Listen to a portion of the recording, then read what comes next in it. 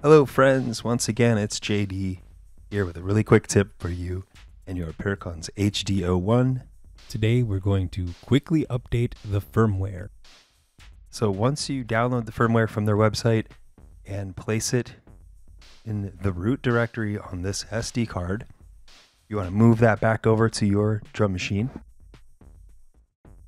Now please note that it goes in with the gold contacts facing upwards. Now we want to power it up while holding all four of these trigger keys down.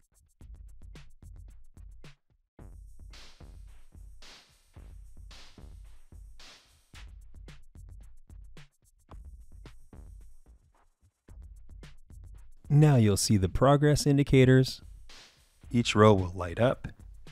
and when all four are lit, It's done. It'll reboot, and boom, we're ready to go.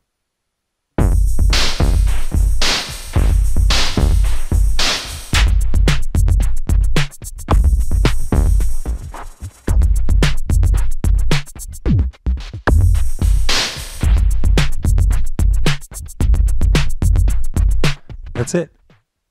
Hope that helps you out. If you like this type of content, please subscribe and follow us for more. Thank you.